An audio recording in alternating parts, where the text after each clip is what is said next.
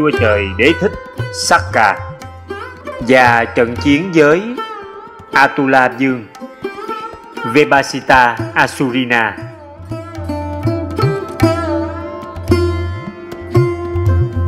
Kênh Mộc Liên Sa trân trọng giới thiệu đến quý đạo hữu. Truyện kể về vua trời đế thích Sakka và trận chiến với Atula Dương. Vebasita Asurina. Truyện kể được trích từ tài liệu Giải về cõi trời. Tác giả Hòa Thượng Giới Nghiêm. Biên soạn Minh Đức Triều Tâm Ảnh. Tỳ Khưu Giới Đức. Diễn đọc Quỳnh Phong.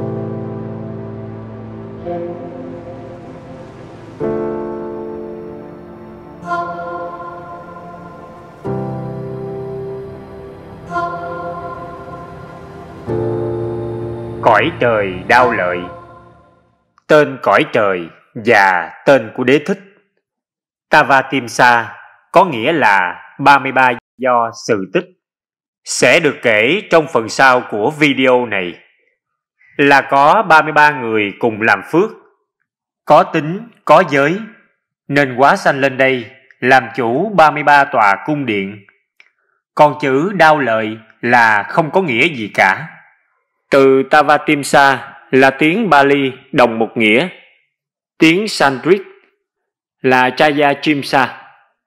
Khi sang Trung Quốc, các vị dịch giải đã dịch âm chữ Chaya Chimsa ở trên Đát lị gia đát lị sa lâu ngày do đọc tắt biến âm thành đát lị rồi đạo lị mà thành quen thành phổ thông còn tên của đế thích đế thích cũng không có nghĩa gì cả Tên thật của vị này là Sakka. Có lẽ âm tàu, chữ này mà thành đế thích chăng? Vị này nhân gian thường gọi là Ngọc Hoàng Thượng Đế, cai quản cả tứ đại thiên dương. Thực ra, Ngài có cả bảy danh hiệu sau. Magava, do trong một kiếp trước làm người, Ngài có tên như vậy. Burinjayo, do bổ túc pháp bố thí ba la mật. Sakko, do bổ túc pháp bố thí bằng cách cung kính. Vasavo do từng bố thí chỗ ngủ cho khách lỡ đường. Saha Sakho là do có khả năng thấy biết hàng ngàn nhân quả trong nháy mắt. Sujambati do là chồng của nàng Sujata. Deva Naminjo do ngài là bậc có đại phước báo, đại quay đức nhất trong cõi trời 33 và tứ đại thiên dương. Pháp nào tạo nhân sanh cõi trời? Đức Phật có thuyết với đại ý rằng, ai trong lúc làm người có đầy đủ bảy đức tính và phẩm chất sau đây sẽ được sanh lên cõi trời.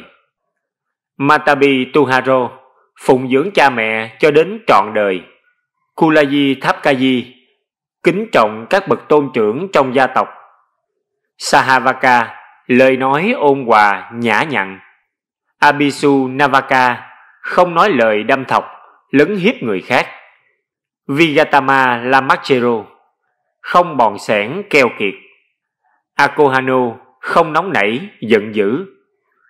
Đế thích thiên chủ hẳn là có bảy đức tính ấy trong các kiếp làm người, nên thường được chư thiên cõi trời đạo lợi, hằng tán thán ca tụng ngài là bậc thiện trí thức, là bậc tịnh giả. Cảnh giới Cõi đao lợi thiên ở trên đỉnh núi Sineru, rất rộng lớn, ngang, dọc, cả muốn do tuần. Do phước báo sang cả, nên quá hiện một cảnh giới khó sức tưởng tượng của nhân gian. Có thể khái lược qua những hiện vật đặc biệt. Một, bảo điện nguy nga nhiều tầng, nhiều mái, bằng bảy báu, cao chừng bảy do tuần, nằm chính giữa trung tâm quốc độ. Đây chính là nhà hội lớn của tất thảy chư thiên, có tên là Vejayanta. Đặc biệt tại đây có dựng rất nhiều cột cờ, cao chừng 300 do tuần. Cột và lá cờ phong phú rất nhiều màu sắc. Nếu cột bằng vàng thì lá cờ bằng ngọc mani. Nếu cột bằng ngọc mani thì lá cờ sẽ bằng vàng. Nếu cột bằng ngọc babala thì lá cờ sẽ bằng ngọc mutta. Còn nếu cột thất bảo thì lá cờ cũng sẽ là thất bảo. Một cây đại thọ kỳ lạ có tên là Parijataka. Tàn lá cây xung quanh như tàn lọng, cao 300 do tuần. Một tảng đá ở dưới gốc cây ấy có tên là Badu Kambala với thể tích khối B60 x 50 x 15 do tuần, màu sắc thì giống như hoa Java. Đây chính là chiếc ngai của đế thích khi ngài muốn ngự giữa trời, lúc an tọa thì nó lúm xuống, còn lúc dời thì nó sẽ phồng lên, rất là dị kỳ. Một con thiên tượng đặc biệt do một vị trời tên là Iravana quá hiện để phục vụ thiên chủ. Chứ cõi trời này không có bàn xanh. Mỗi khi trời đế thích và chư thiên muốn chơi trò chơi lạ mắt, vậy là chú voi kia hiển rộng thần quai, cao to 150 do tuần, trên lưng có 33 cái bành. Có lầu, có ngài dành cho 33 vị thiên, nằm ở các vị trí xung quanh. Mỗi cái bành như vậy vuông dứt chừng 6.000 sải tây. Trong mỗi cái bành đó có một cái hồ lớn, trong hồ có 7 bồn nước. Mỗi bồn nước có 7 cây sen, mỗi cây sen sẽ có 7 hoa, mỗi qua sẽ có bảy vị tiên nữ đang múa hát. Riêng Đức Ngọc Hoàng của chúng ta có một cái bành đặc biệt ở vị trí trung ương. To và rộng khoảng 30 do tuần. Có một bảo điện bằng ngọc cao to 12 do tuần. Bên trong có một bảo tọa cũng bằng ngọc cao to một do tuần. Và xung quanh cũng quá hiện tương tự như trên, nhưng thất bảo nhiều hơn, kỳ dĩ hơn, to lớn hơn, xinh đẹp hơn. Trên lưng thiên tượng dựng đứng 34 cột cờ cao 100 do tuần, được treo rất nhiều chuông gió phát ra âm thanh là những bản nhạc trời mê ly, quyến rũ. Một đền vuông dứt 500 do tuần, nguy nga tráng lệ, có tên là Sudham Madeva Sabha. Một cái hồ kỳ lạ có tên là Sunada Bukharani, bằng bảy báu, sạn sỏi cũng bảy báu, đủ loại cá, đủ loại sắc màu, cũng bảy báu bơi lượn, có bảy loại sen trời, bảy màu, luôn nở không tàn, hương thơm ngào ngạt.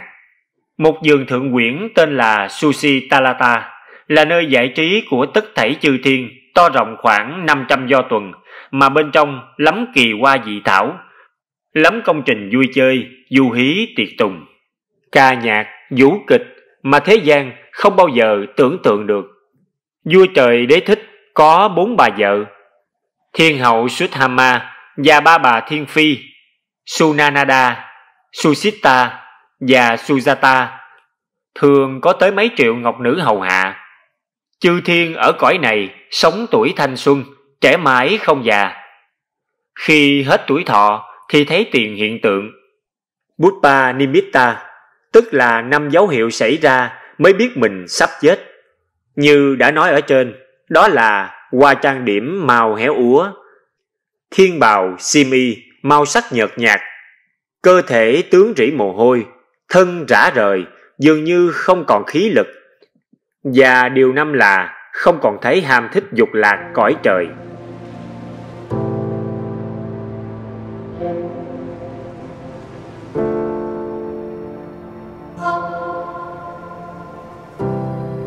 Kiếp trước của đế thích và các bà vợ Trong bổn sanh Kulavaka Đức Phật có kể lại như sau. Thổi xưa, thật quá lâu xưa, trong nước Ma Kiệt Đà, Bồ Tát sinh ra và lớn lên tại một ngôi làng nhỏ bé tên là Makala, giáp ranh thành Dương Xá. Chàng tên là Maga. Do phước và trí, sanh nên chàng như một thiên thần bước suốt cuộc đời. Chàng lập gia đình và có bốn vợ, Sudhamma, Sananaya Sushita và Sujata sanh con làm các nghề nghiệp chân chánh giữ năm giới lấy thiện sự làm niềm vui thanh cao. Ngôi làng ấy đầy ác giới chúng thường hay gây gỗ đánh đập chửi mắng nhau bằng binh khí dao gậy hay là miệng lưỡi. Nghề nghiệp chính của họ là săn bắt thú rừng hoặc là kéo cá trong lưới còn một số kẻ bất thiện khác thì bắt trộm heo gà ăn nhậu với rượu men, rượu nấu. Khi no nê say xưa chí tử rồi, thì không có việc xấu xa tội lỗi nào mà chúng không làm. Không có giới trọng nào mà chúng không phạm. Thế là tiếng cười, lẫn tiếng khóc, tiếng than giảng, lẫn tiếng la hét như đám lửa cháy âm ỉ hoặc là bùng phát, cuồng nộ như nỗi thống khổ trong quả ngục ngày qua ngày, đêm qua đêm. Maga sống giữa họ như sen mọc trong bùn, thanh sạch, thơm tho, cả nghề nghiệp, giới hạnh và tâm hồn. Chàng thương họ, muốn cảm hóa họ, nhưng tự nghĩ, nói tới đạo đức và lẽ phải trong lúc này, đối với họ, thật như là nước đổ đầu dịch. Vậy, hãy kham nhẫn, từ từ, không phải bằng nói năng, mà phải bằng hành động cụ thể, cả vật chất lẫn tinh thần. Khi mà cơ cực, lầm than thống khổ tràn tới họ như là một cơn lũ lớn, lúc ấy ta sẽ ra tay. Từ đó, chàng cùng các bà vợ, các con siêng năng, chăm chuyên làm giàu. Việc gì làm được là làm. Đó là chịu khó canh tác ruộng giường, đan lát, thủ công, làm gốm mộc, thợ xây. Lúc nông nhàn thì chàng và các con lên rẫy lấy gỗ danh mộc, trầm, rồi kết bè về bán ở miền xuôi. Siêng năng và cần kiệm lại có đầu óc, có ý chí. Trong một thời gian không bao lâu, chàng tích lũy được một gia sản lớn. Khi mà mỗi gia đình sống trong cái chòi tối tăm, rách nát, mũi mồng, hôi hám, bẩn thỉu, thì Maga đã có được một trang trại rộng lớn, kẻ ăn người ở tới lui tấp nập, với kho thóc lúa, kho bắp đậu, kho giải, kho củi, kho nông cụ vật dụng, như là cơ ngơi của một triệu phú.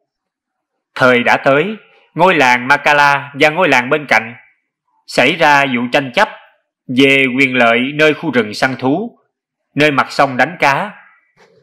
Làng Makala bị bồi thường và phạt dạ, mỗi gia đình phải bỏ tài sản ra, tiếp đến là nạn cháy nhà, hạn hán, mất mùa. Chúng rơi vào một trận đói kinh hoàng, cùng với dịch bệnh lây lan, dãy chết đầy đường, người và vật. Maga từ lâu đã có dự tính, dự phòng nên đã tích trữ sẵn mọi thứ, nhu cầu thiết yếu cho mối hiểm họa này. Chàng kêu cả làng đến rồi phát tặng lương thực, thực phẩm, thuốc men, giải dốc với nụ cười đôn hậu và tấm lòng rộng mở. Sau cuộc cứu nạn, chàng tụ tập 30 chàng thanh niên đại diện cho 30 gia đình tiến bộ nhất rồi giáo giới với họ rằng Này các bạn, tôi sẽ cứu các bạn và cả ngôi làng này qua khỏi cơn thống khổ. Bắt đầu từ hôm nay, lương thực của gia đình chúng tôi chính là lương thực của các bạn. Chúng ta hãy cùng nhau lên rừng. Tôi biết ở đâu có gỗ quý, chiên đàn đỏ, chiên đàn trắng, chiên đàn vàng. Và tôi cũng biết chỗ mà người ta thu mua với giá cả rất phải chăng. Chỉ cần một chuyến như vậy là chúng ta có thể giúp đỡ cho cả làng qua khỏi cơn nguy khốn. Chuyến thứ hai, các bạn có lương thực dự trữ. Chuyến thứ ba, các bạn sẽ có đủ tài sản để chăm lo nông vụ, dương tược. Hãy theo lời tôi, hãy nghe tôi. Hãy cùng nhau chiến thắng đói nghèo. Như gặp được một chiếc phao cứu hộ, cả làng quan hô và tán dương, khen ngợi Maga không hết lời. Và rồi cứ vậy mà làm, thanh niên Maga còn đưa ra kế hoạch tròn năm, 4 tháng lên rừng khai thác gỗ, trầm, mật ong, măng giang, mộc nhĩ. 4 tháng lo ruộng giường và làm đầy kho ngũ cốc. 4 tháng còn lại là những căn nhà, những con đường, cầu cống, bệnh xá, các nơi dơ quế phải chôn lấp. Maga nói với 30 chàng thanh niên, Này các bạn, hãy nghe tôi. Hãy biến ngôi làng nghèo khổ này thành ngôi làng của cõi trời. Vậy là một phong trào rầm rộ và toàn diện về chuyện làm ăn, xây dựng, canh tân được bàn bạc từ đầu thôn đến cuối xóm, đèn đuốc được đốt thâu đêm.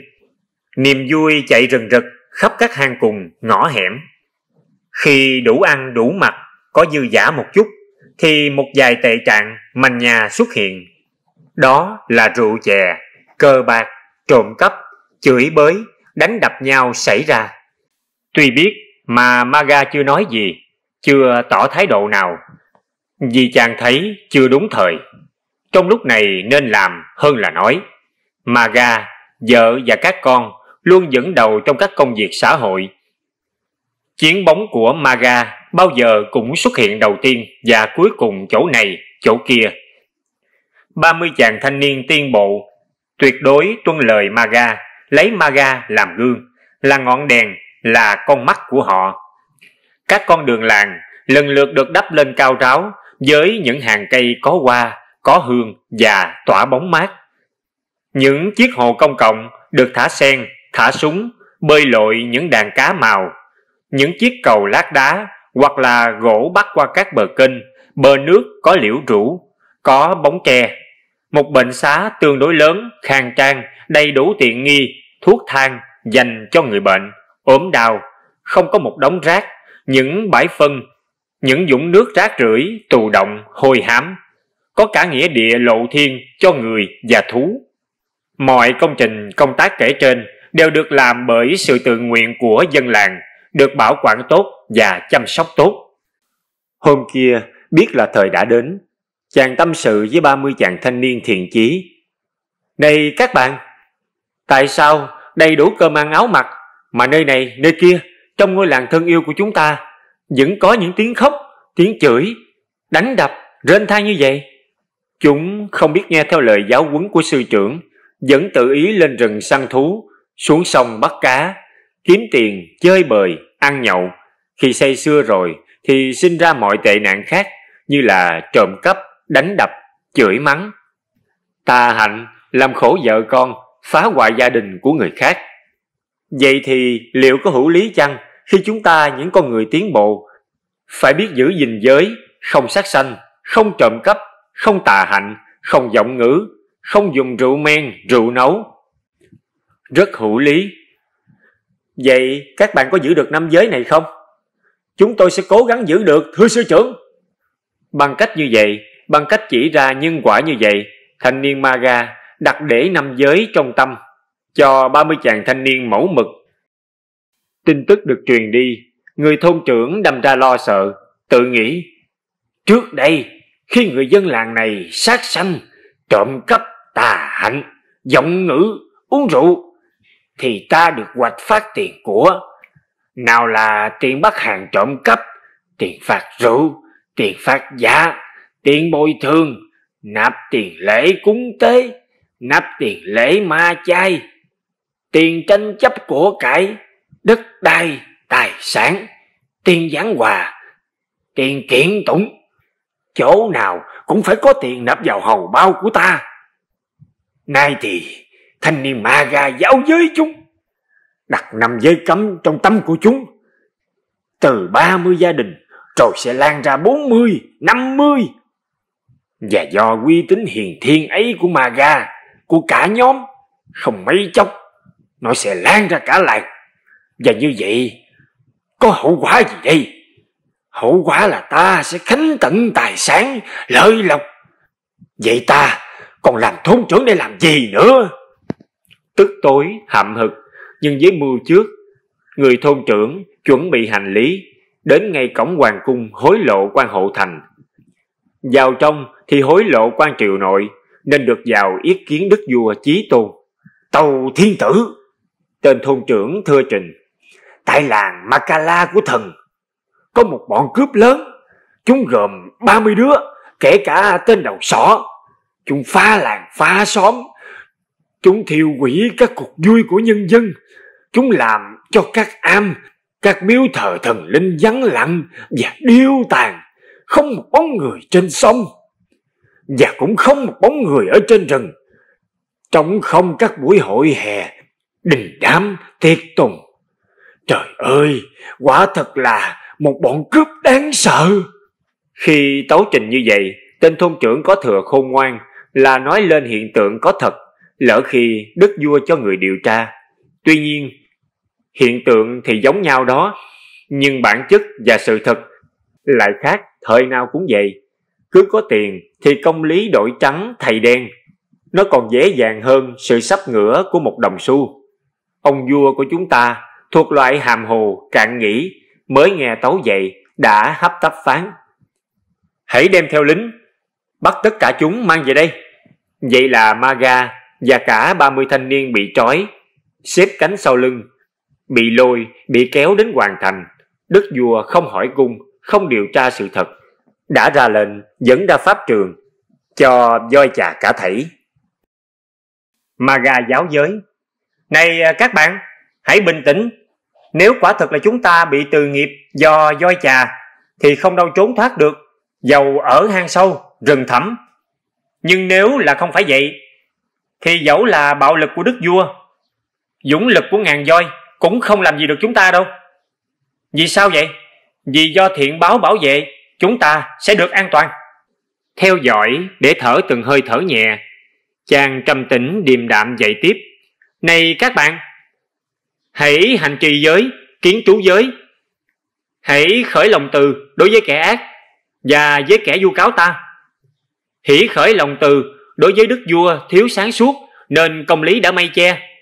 Hãy khởi lòng từ đối với đàn voi không biết gì sắp giảm đạp chúng ta Tâm từ ấy phải được quảng đại, sung mãn, bao trùm đồng đẳng, trang hòa tất cả chúng sanh.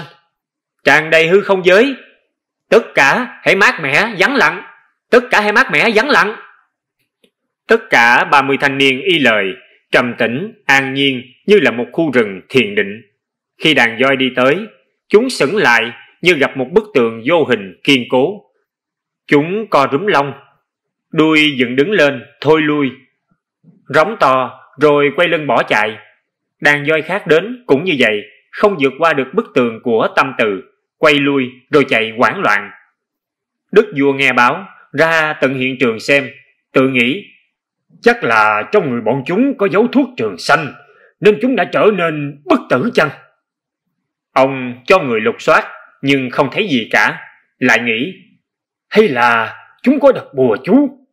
Bèn nói to, này bọn cướp kia, có phải các ngươi âm thầm độc chú để chống lại bản án tử hình kia không? Maga đã hiểu mọi chuyện nên chàng đáp. Dân, có, thưa thiên tử.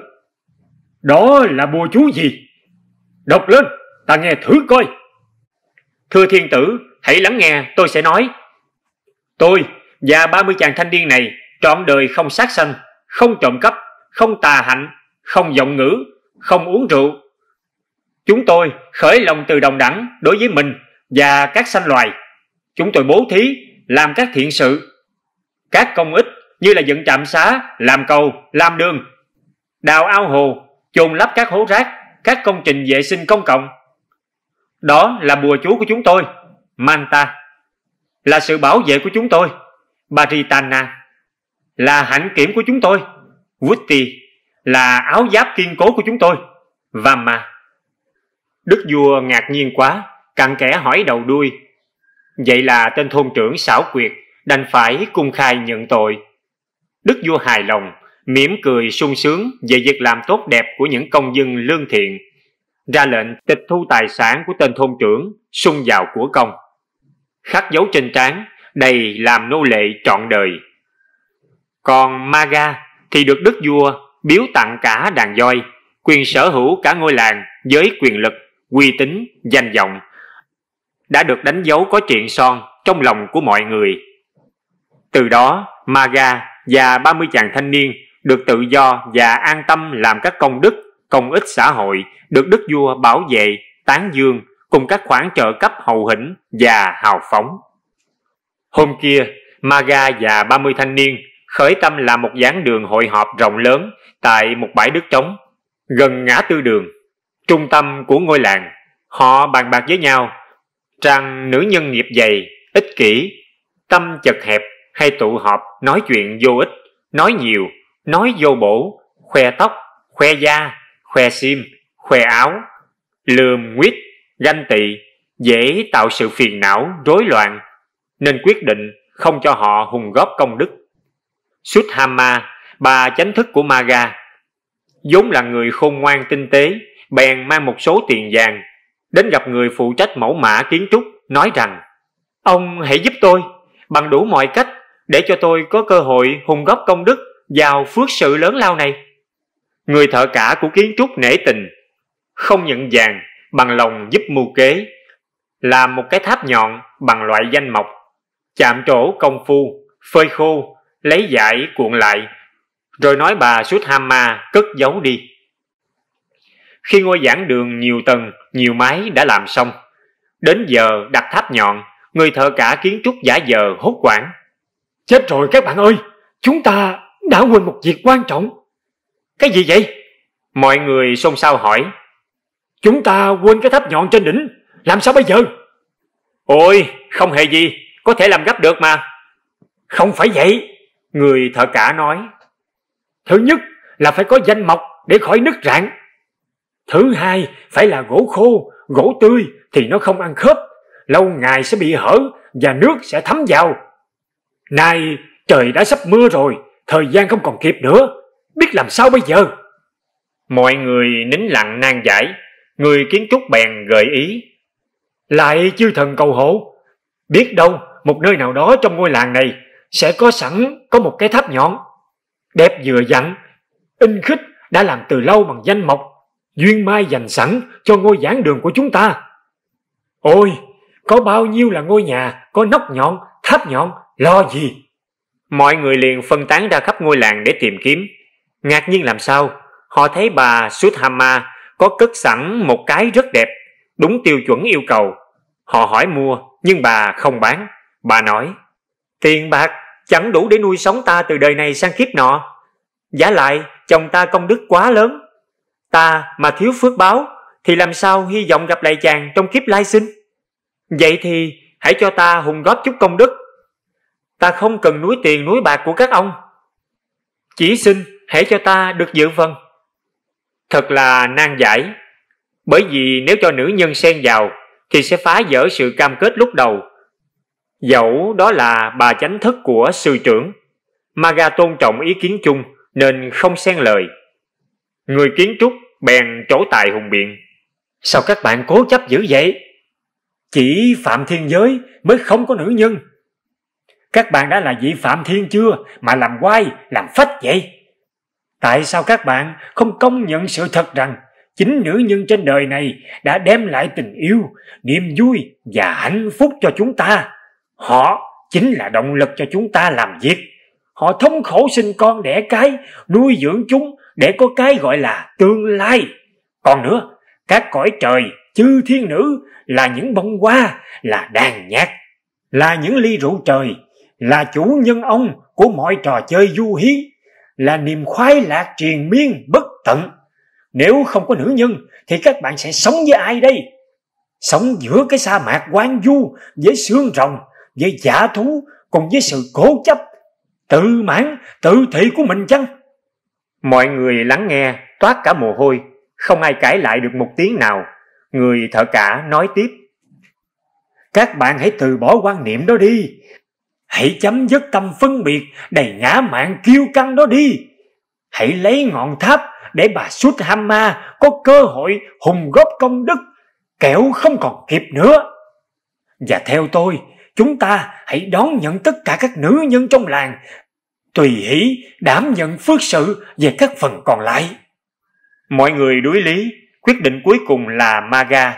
Chàng mỉm cười nói, đây là mưu trước, nhưng mưu trước ấy đáng được hỷ xả. Các bạn à, lập luận hùng biện, đanh thép dựa trên sự thật của người thợ cả có lẽ là do chư thiên. Thọ thần mách bảo, không ai có thể phản đối được. Chúng ta là ai? Mà dám đóng cánh cửa trời, không cho nữ nhân cùng được bước vào chứ? Vậy là nóc tháp nhọn được đặt lên vừa dặn, xích sao, tuyệt mỹ. Các nữ nhân trong làng sau khi nghe được mở cửa. Họ đua nhau đến góp công sức, tiền của rồi vui vẻ, sung sướng ca hát, reo cười, nhảy múa, làm cho không gian tịch lặng trước đây dường như sống động, trẻ trung hẳn lên. Trong khi cả làng ai có công việc nấy thì đặc biệt trong đàn voi của đức vua tặng có con voi chúa tên là Iravana có giác tính rất cao rất sốt sắng và siêng năng trong việc phục vụ chở người hay vật liệu bất kể ngày đêm xa hay gần ai cũng xem voi này như là bạn bè như thân hữu như là thần vật. Không bao lâu sau một quy mô cực kỳ vĩ đại được hoàn thành. Trong giảng đường có đầy đủ bàn ghế tròn vuông ngắn dài các loại. Đặt những ghè nước ngọt trong tại các hành lang. Xung quanh giảng đường Họ làm thêm nhà trọ cho các khách lỡ bước, trạm nghỉ chân cho khách thương, cho cả trẻ nít, chăn trâu, chăn bò, đầu đầu cũng đủ phòng ăn, nhà tắm, nhà vệ sinh, hầm bỏ rác. Ngoài ra, những bức tường dài bao quanh có gắn cửa vuông, cửa tròn to rộng. Những con đường lót đầy sỏi trắng, những hàng cây sa la, tre, trúc, dâu da, các loài cây nhiệt đới xanh tươi, mát mẻ. Tại mỗi nơi có bóng mát, Maga sai người đặt những phiến đá vuông dứt, đẹp cho người ngồi nghỉ chơi. Nàng Sunanda là bà vợ thứ hai của Maga, muốn phước báo lớn hơn cả Sudhama, phát tâm làm hồ, làm suối. Hồ xanh thăm thẳm, lấp lánh sao trời, phô thắm hoa sen, hoa súng đủ màu, suối dần quanh những thảm cỏ xanh mịn màng. Chỗ sâu, chỗ cạn, trông leo lẻo, đủ loại cá đẹp nhẫn nhơ, lặng lờ lui tới. Những chiếc cầu đá trắng lơ thơ liễu rũ, trông thơ mộng như cõi bồng lai. Nàng Susita, bà vợ thứ ba của Maga, đâu có chịu kém chị kém em. Khởi tâm là một công viên mỹ lệ, có những thảm cỏ xanh biếc, có những thảm lá màu, nhiều hình dáng, nhiều dáng vẻ khác nhau. Và có cả những tảng đá thuộc loại kỳ thạch, quái thạch màu trắng, màu vàng, màu đen, màu đỏ. Dựng nổi bật giữa nền xanh ngút ngàn, hàng trăm cây ăn trái, cây kiển, cây hoa, dương hoa, lá vàng, lá tím, lá đỏ ngào ngạt hương. Không có cây nào là không tên tuổi, không có đường nét nào là không vui tươi. Bắt mắt và đầy nghệ thuật.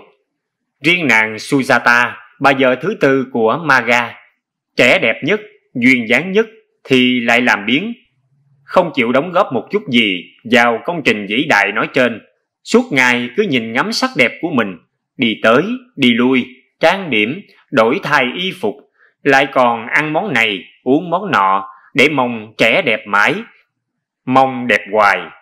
Rất thương nàng Yuzata, nhưng Maga không khuyên bảo được, chỉ lặng lẽ thở dài mà thôi.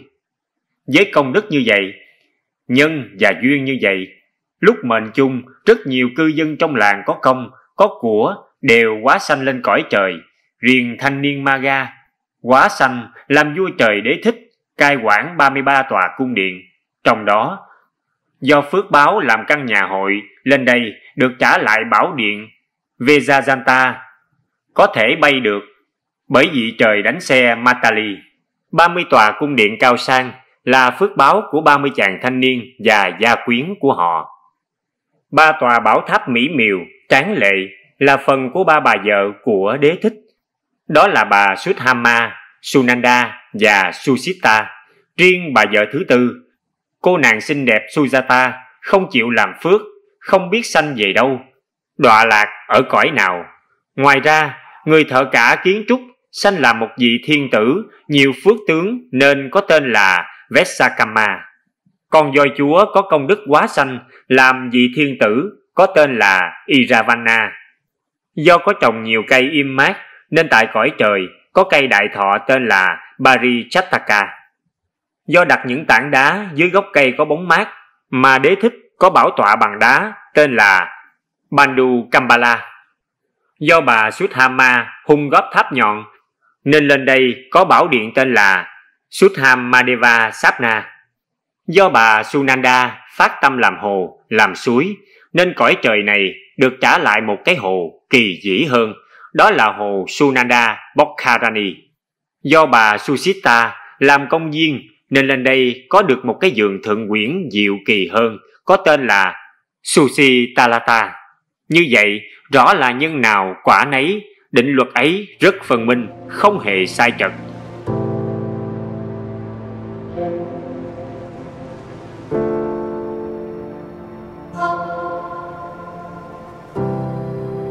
Câu chuyện về rượu trời và địa giới Atula Thiên Atula Thiên là một cảnh giới riêng, là nơi ở của một loại chúng sanh hữu phước hơn cõi người. Trước khi đế thích chưa quá sanh lên đây, thì cõi này là cảnh giới của Atula Dương, cùng với thiên chúng Atula chiến ngự. Hôm kia, chúng Atula ngạc nhiên xiết bao khi nhìn thấy ngay giữa trung tâm cảnh giới chợt xuất hiện rất nhiều bảo điện nguy nga, lộng lẫy, cao sang và quý báu hơn cả những cung điện của chúng. Rồi vào vườn thượng quyển, nào là ao nước, nào là cây cối, nào là kỳ hoa, dị thảo. Đầu đầu cũng xinh tươi, thơm tho và ngoạn mục. Ban đầu chúng tưởng rằng là chư thiên đồng loại, nên chuẩn bị nghinh tiếp cư dân mới, nhưng khi nhìn thấy quá ra không phải, họ cao sang, xinh đẹp hơn Atula nhiều. Đế thích cũng ngạc nhiên không kém khi nhìn thấy phía bên ngoài cảnh giới của mình. Lại có một cư dân khác, cũng như là chư thiên, nhưng sao trong phục sức và mặt mũi, thấy không hiền lành chút nào cả. Ngài cảm thấy bất an. Hôm kia, nhân dịp dạo chơi vườn thượng quyển sushi talata, phát giác một cây đại thụ kỳ lạ, to lớn, lạ lùng, quả lại chín mọng, treo lủng lẳng cả hàng dạng trái. Để thích bảo dị thiên theo hầu, hái thử một quả.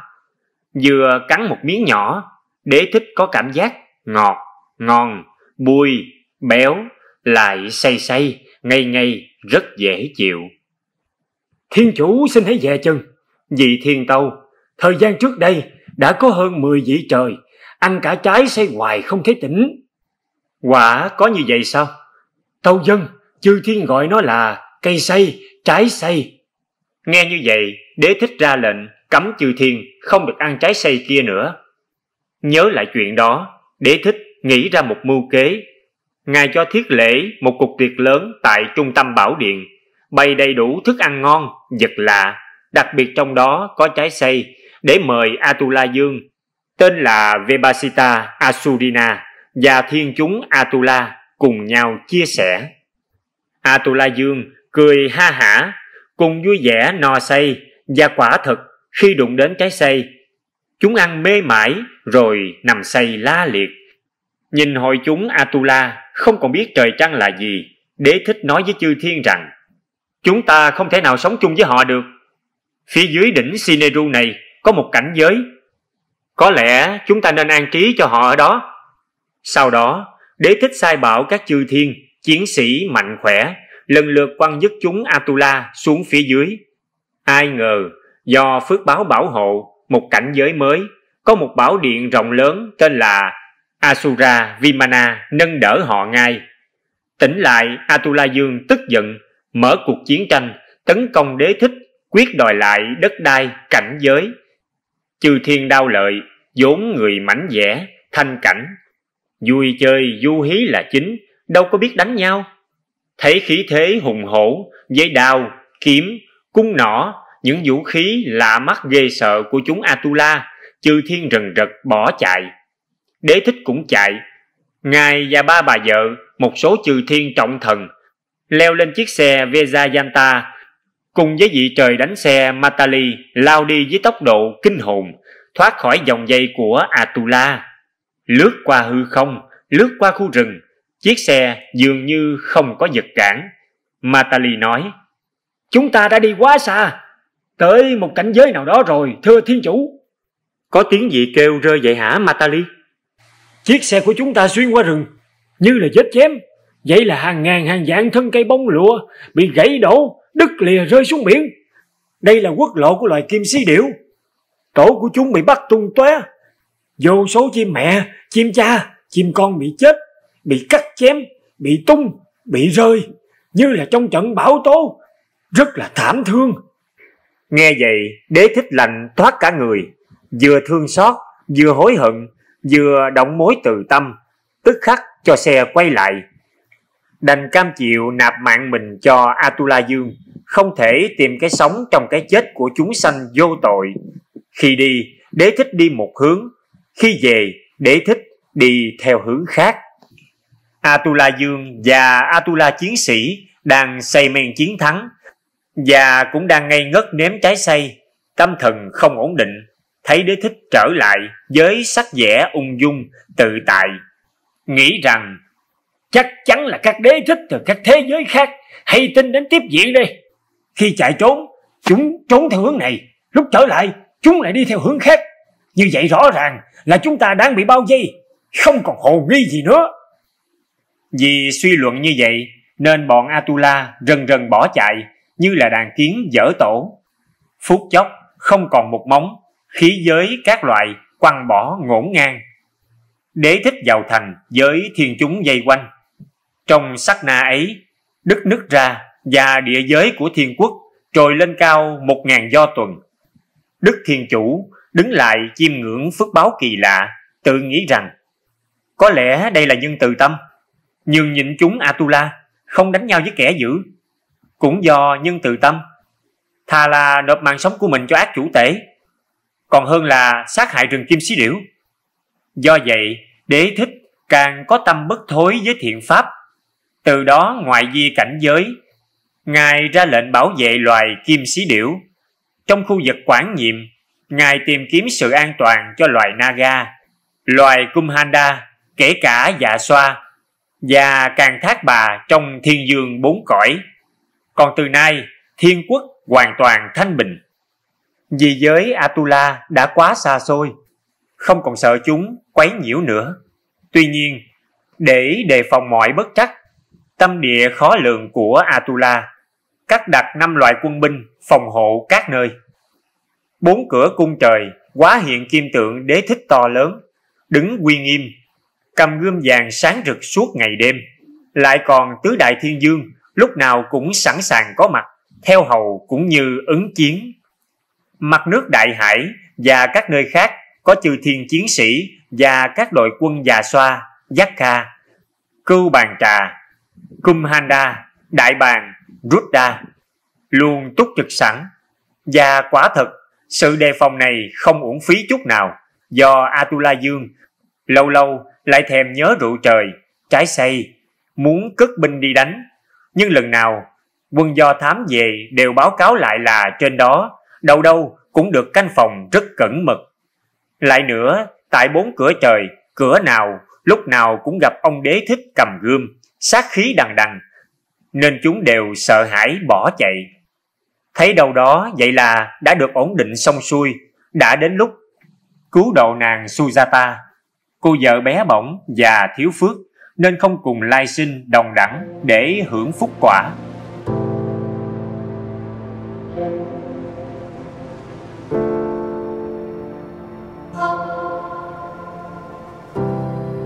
Cuộc chuyển kiếp ngoạn mục của nàng Sujata, cô vợ út xinh đẹp của đế thích trong lúc mọi người xung dày lạc phúc trên thiên giới, thì tội nghiệp thay, cô vợ xinh đẹp Sujata của đế thích lại xin làm thân một cô gái hạt ở rừng sâu.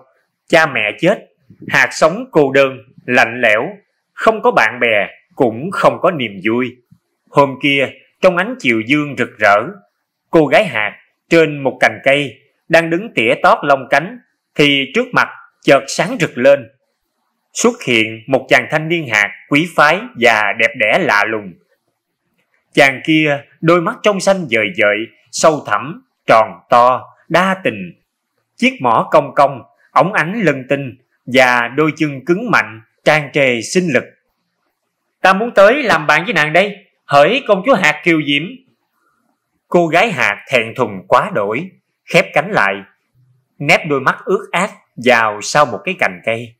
Đi chứ, xui ra ta công chúa hạt. Hãy cùng với ta đi xem một cảnh giới quy hoàng. Thanh niên hạt ấy chính là đế thích quá thân. Sau khi dùng thiên nhãn, ngài thấy Sujata do thiếu phước nên đọa sanh làm thân chim hạt. Ở rừng này nên đã phương tiện tìm cách cứu độ. Vậy rồi, với thần lực của mình, đế thích nhẹ nhàng đưa cô gái hạt bay xuyên qua những đám mây mờ đến cõi trời đau lợi. Sau khi để cho cô gái hạt ngắm nhìn 33 tòa cung điện rực rỡ với chư thiên nam nữ, phục sức trăm màu lộng lẫy, cao sang, vui chơi du hí đó đây. Đế thích đứng trên một chóp đỉnh bảo điện thì thầm to nhỏ như rót vào tai. Kể lại cho cô gái hạt nghe tiền duyên nhân quả, kiếp trước, kiếp sau liên hệ như thế nào, rồi khuyên cô gái hạt sống đời thiện lương, giữ ngũ giới, sau này do phước báo bổ trợ, giúp nàng thác sanh vào cõi trời này để tái ngộ duyên xưa. Nói xong như để làm tin, chàng hạt bỗng rút cánh lên mây xanh, biến thành đế thích thiên chủ, mũ miệng sáng ngời, thiên bào bảy báu, rực rỡ uy nghi, ngồi giữa hư không, nhìn cô gái hạt tủm tỉm cười. Lát sau, thấy cô gái hạt e thẹn bẽn lẽn gật đầu, đế thích hài lòng, dùng thần lực đưa cô gái hạt trở về rừng sâu. Hạt đã tỉnh mộng, bàng hoàng nhớ lại tất cả mọi chuyện đã xảy ra ở kiếp trước. Ai cũng có công đức, riêng nàng thì không. Ai cũng được xâm dày, tái ngộ tại thiên quốc cựu lạc. Còn nàng thì mang cái thân chim xấu xí, vô phước, phải tự tập đi thôi. Kiên quyết giữ giới để hy vọng một kiếp lai sanh, tương ngộ tình nghĩa vợ chồng. Bắt đầu từ đó, hạt không ăn các sanh mạng còn sống, lại không quen ăn lá cỏ, các loại hạt nên hạt gầy yếu rất nhanh. Ít tuần sau là hạt kiệt sức, gục ngã bên bờ suối, sương rừng và gió núi làm hạt tỉnh lại, mệt mỏi, lờ đờ, hạt lê dai bước đi. Một chút nước suối làm hạt tỉnh táo hơn, và ô kìa, có một con béo ngậy nằm phơi cái bụng vàng ống ánh, nó chết rồi. Đó chỉ là tứ đại. Nó sẽ cho ta sinh lực và cả sự sống. Khi ngậm con cá trong chiếc mỏ xinh xắn, thì hạt nghe thân cá rung lên. Uống công chiếc đuôi, quảng hốt như là một phản xạ trong sạch. Ở trong tâm có giới bất sát. Hạt nhả con cá ra, thần thờ. Hạt còn không quên dùng chiếc mỏ đẩy con cá xuống dòng nước. Tha chết, chứ ta quyết không sát sanh. Dẫu cho cái đói bức bách, hành hạ ta, ta vẫn kiên gan chịu đựng, để được lợi ích và tiến hóa trong các kiếp sống. Bất chợt, trước mắt hạt rực sáng, con cá bạc từ lòng suối, bỗng chém nước một đường bay ngoạn mục. Dút lên không như là một dệt thủy tinh, hiện thành đế thích thiên chủ, ngồi giữa đám mây lành rực rỡ. Lành thai Sujata thương yêu, đế thích nói, nàng đã có giới ở trong tâm. Nàng đã biết nghe lời của ta. Thật ra, chỉ một chớp mắt là cái kiếp hạt phù du. Hãy kham nhẫn, chiến thắng dị dục và cái bụng, rồi nàng sẽ tái ngộ cùng ta trong cõi thiên đường sáng lạng. Nàng Sujata nhờ có giới hộ trì nâng đỡ, nhưng vì chưa đủ phước báo nên hết kiếp hạt. Tái sanh làm cô con gái trong một gia đình nghèo khổ ở Ba La Nại. Từ đình Sineru nhờ thiên nhãn để thích biết chỗ sanh thú của nàng. Mùa hè đổ lửa năm ấy, đế thích quá thành một cụ già, đẩy một chiếc xe chất đầy dưa chuột chín vàng. Đi vào thành phố, ông già bán dưa chuột rao một câu lạ lùng. Ai cần dưa hãy tới lấy, ai có giới hãy tới lấy dưa chuột. Màu dưa chuột chín vàng rất thích mắt, thấy là đã muốn ăn ngay. Thật là của hiếm, giữa mùa nắng cháy rát da, khô họng, người ta xô lại và ai cũng tranh phần muốn mua. Ông già hét to. Các người là ai? Các người có giới không? Ta chỉ cho dưa chuột tới người có giới thôi. Mọi người đều nói. Tôi không có biết giới có mặt đen hay mặt đỏ. Nhưng tôi có tiền. Tôi sẵn sàng trả giá cao nhất. Hãy đi đi. Ông già bán lấy tay xua. Ta không cần tiền. Tiền bạc có tích sự gì chứ? Dưa này Ta chỉ cho không đến người có giới thôi. Với sức mạnh do thần lực của vị thiên chủ, đôi cánh tay gầy guộc của cụ già như là dòng đai kiên cố bảo vệ xe dưa chuột. Đám đông như chạm phải bức tường đồng dách sắt, tất cả đều dạt lui. Ai cũng nghĩ ông già đó điên, mọi người dần dần lãng tránh ra xa. Tiếng rao của cụ già khàn khàn, vọng từ đường phố này sang đường phố khác, từ khu nhà này sang khu nhà khác. Muôn dân trong thành Ba La Nại không hiểu duyên cớ tại sao cứ nghe mãi âm thanh của ông già rao bán dưa chuột vàng vàng ở trong lỗ tai. Kể cả kẻ điếc lãng, hôm ấy họ cũng nghe rất rõ ràng. Ai có giới, ta cho không dưa chuột. Ai có giới, ta cho không cả xe dưa chuột. Tiếng rào đến tai của cô gái nghèo, trái tim rung động mạnh tiềm thức về quá khứ mơ hồ trở về nàng biết giới nghĩ về giới quen với giới như là người bạn thân đi xa lâu ngày gặp lại cô gái ra đường rẽ đám đông bước tới dạ thưa cụ tôi biết giới tôi có giới hãy cho tôi dưa chuột cụ già nở nụ cười hóm hỉnh nhìn cô gái nghèo hỏi cả xứ ba la nại này có ai biết giới gì đâu, tại sao cô lại biết chứ? Dạ thưa cụ, tôi biết từ quá khứ à. Vậy giới là gì nào, hả cô bé? Là ngăn giữ những điều ác, thưa cụ. Vậy là đúng, vậy là tốt. Cụ già cười ha hả. Này à, cô bé, hãy nhớ thọ trì ngũ giới đó nha. Rồi đế thích trao cả xe dưa chuột cho cô gái, chỉ nói riêng cho nàng nghe. Đây không phải là dưa chuột đâu, là cá xe vàng rồng đó. Hãy dùng của cải mà nuôi mạng sống, nuôi cha mẹ già. Nhớ tích lũy thêm công đức như là bố thí, làm các thiện sự hữu ích tới mọi người. Hiểu chưa? Cô gái y lời, giữ giới trong sạch, cúng dường các đạo sĩ, bố thí đến người nghèo khổ, xây dựng các trạm phước xá, chấn bần đến mãn đời. Hết tuổi thọ mạnh chung, cô gái quá xanh, làm công chúa cõi Atula Thiên, mang sắc đẹp quý phái, đôn hậu, thùy mị, lại có nước da màu vàng rồng, chói lọi nhưng mịn màng do quả giữ giới trong hai kiếp liên tiếp. Đến tuổi trưởng thành thì Atula Dương cho nàng tự do kén chồng. Các hoàng tử khắp các cõi Atula cùng đến tham dự mong được lọt vào cặp mắt xanh của mỹ nhân. Để thích biết chuyện, chuẩn bị bộ sậu, giả trang làm một hoàng tử Atula nhìn vô cùng hiên ngang, anh Tuấn, lại quý phái đẹp đẽ cực kỳ. Giữa chúng hoàng tử Atula, đế thích phương phi, cao sang như chúa Phượng Hoàng. Nhìn thấy đế thích, trái tim công chúa Atula sao xuyến, bồi hồi, do sợi dây luyến ái, do năng lực từng chung sống yêu thương ở kiếp trước. Bubesan Nivasa, nàng đã chọn đế thích làm chồng. Giữa muôn vàng tiếng reo hò, tán dương của chư thiên và Atula đồng ngưỡng mộ. Đế thích ra mắt nhạc gia, hiện thành thân tướng trang nghiêm, đầy quy lực của một bậc thiên chủ tối cao. Ngài cung kính và điềm đạm, trình bày cho Atula Dương nghe rõ, nhưng duyên và quả trong các kiếp sống bây giờ lại muốn kết tình giao hảo giữa hai quốc độ. Ban đầu Atula Dương về Basita Asudina đung đung nổi giận. Sau, nhìn thấy con gái rạng rỡ hạnh phúc, nghĩ rằng dẫu là ông vua trời cao quý, nhưng đã hạ mình làm giai tế, thì có lý nào ta lại cố chấp, chuốt mối quán thù. Trái lại, càng nên hãnh diện là khác.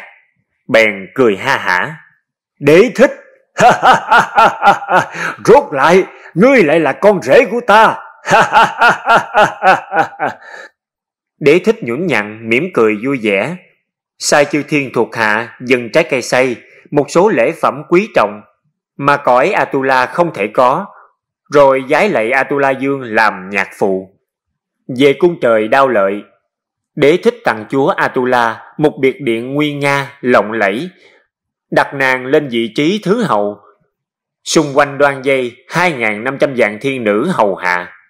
Như vậy, nhờ sự đa tình, thủy chung mà đế thích có đầy đủ bên mình bốn bà vợ. Trong mối lương duyên, ẩn bên sâu hương thơm của diệu pháp. Thanh niên Maga, trời đế thích, thuở ấy là tiền thân của Phật. Sakyamuni của chúng ta vậy.